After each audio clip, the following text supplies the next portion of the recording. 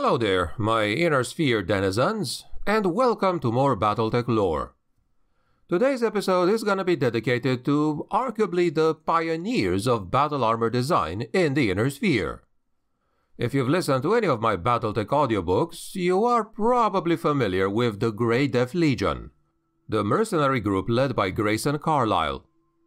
What you may or may not know, however, is that this guy and his people were among the first in the Inner Sphere to design and use battle armor. So today I thought we could describe their main designs. I am your host, the Grimdark Narrator, and without further ado, let us proceed, shall we?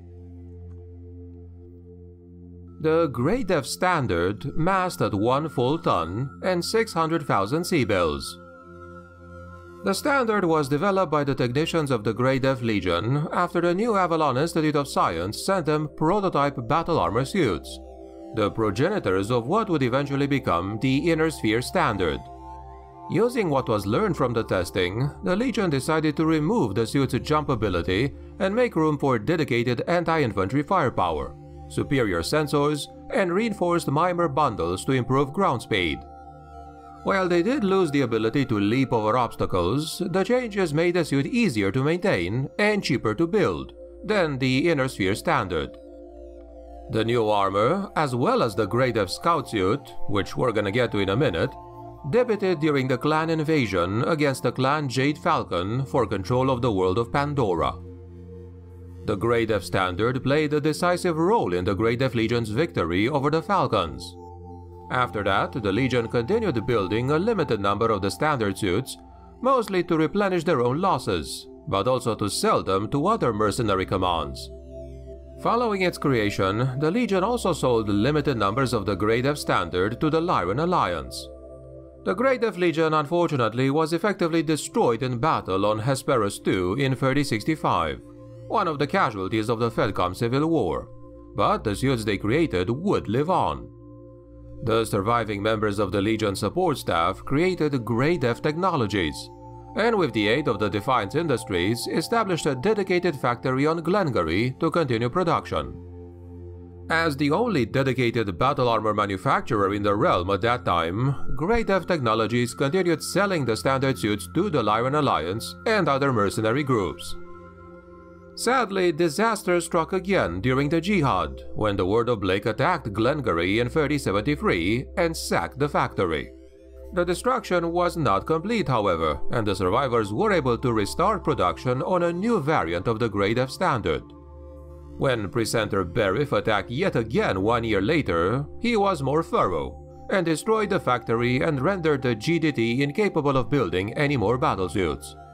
By that point, Grey Death technology was bought up by Defiance Industries, which decided to move manufacturing of the Grey Death standard to Furillo and put a hold on any new designs. Production of the Grey Death standard resumed in late 3080, although the sale of the latter was restricted to the Lyran Alliance and Defiance Industries' own security. Equipment-wise, this battle armor retains the modular weapon mount of the Inner Sphere standard in the right arm, allowing it to carry either a single-tube SRM launcher with four reloads, a flamer, a small laser, or a machine gun. Beginning in 3069, the mount could also accept a light recoilless rifle. On the left arm is an anti-personnel weapon mount dealing with conventional infantry. The left arm also has a battle claw, allowing it to make anti-mech attacks or be transported into battle via Omnimech handholds. The Grey Death Standard carries 450 kilos of standard armor, or, for the Americans out there, a thousand pounds. This is enough to survive a full burst from an inner sphere large pulse laser and keep the trooper alive. It has improved sensors for detecting hidden opponents, including mimicking the function of a portable radar sensor. It can also maintain an impressive top speed of 32.4 kilometers an hour.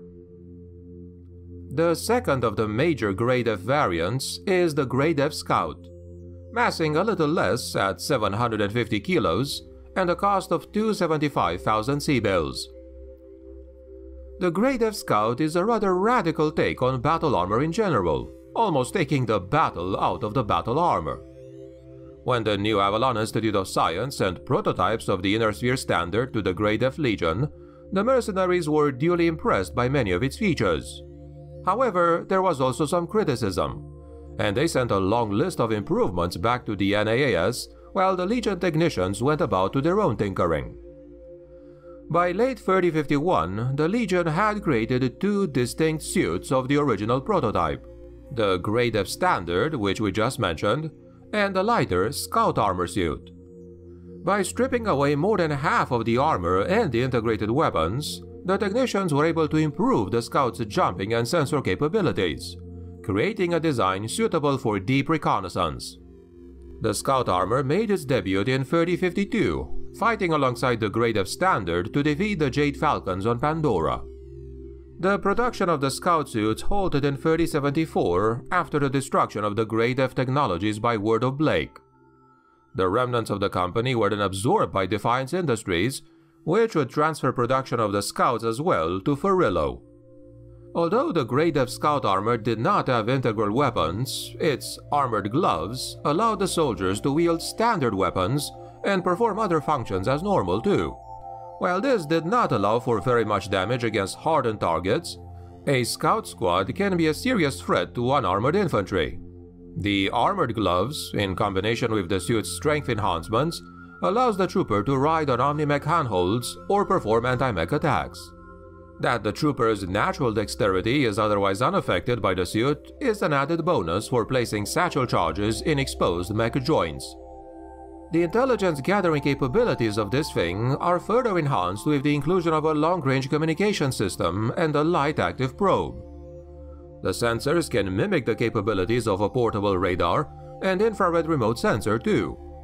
This suit was also the first one to incorporate a jump booster, which pushed the maximum jumping distance to 120 meters. Unfortunately, although expected, it is only protected by 200 kilos of armor, or 440 pounds. And just one blast out of a medium laser can obliterate both the armor and the pilot. In 3076, Fox Infantry Systems rebuilt the Grey Death Legion scout armor used by the so-called Will-O-Wisps, a group of female gladiators competing on the Magistracy of Canopus planet called Hardcore. Yes, there was a planet called Hardcore. The standard armor was replaced by 240 kilos of improved stealth armor, which while it does provide the same level of protection, it makes them almost impossible to hit. The suit was also redesigned using new composite joint systems to make them more flexible than the original. Finally, the active probes were removed and replaced by a clan micropulse laser. The Grey Death Infiltrator suit is the next one on the list, massing at one full ton.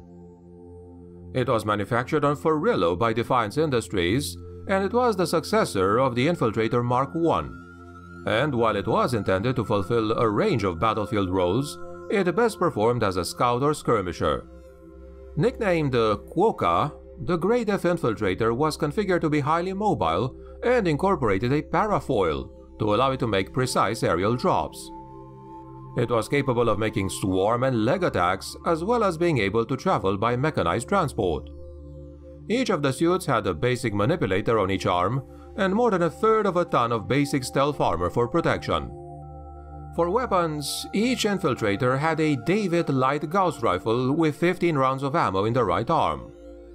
The left arm of each suit was fitted with a modular weapon mount, capable of mounting a Fire Drake support needler with 30 rounds of ammo, a light tag system with 60 rounds of ammo, a package of improved sensors, a remote sensor dispenser, or a mine dispenser with two mines. The last of today's Grey Death designs is the so-called Grey Death Strike, massing at one full ton. This original version of the strike suit was unique for being a hybrid of the inner sphere and clan technology.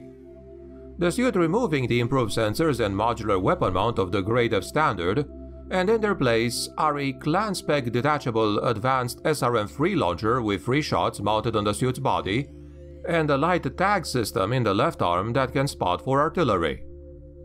Both the arms ended in battle claws, and the AP mount was retained, as it were its movement capabilities and armor.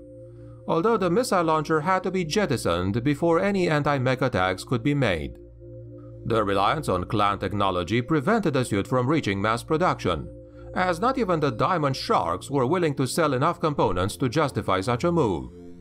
Although Defiance Industries eventually went with a redesigned production model using Inner Sphere technology, it was rumored that they kept the prototypes for their own security.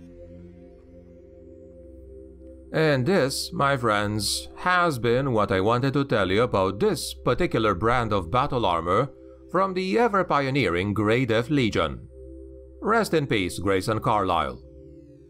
It is interesting to see that it took the interest and innovation of a mercenary company, of all things, to put a type of combat unit on the map before any of the great houses made good designs of their own. What about you, though? Did you know about any of these Grey Death battle armor variants? Which one did you find the most interesting? As always, I do look forward to reading your thoughts in the comments below. If you enjoyed the episode or found it informative, please click the like, share, and subscribe buttons for future content. Thanks a lot for watching, and have a healthy day. This is GDN signing out.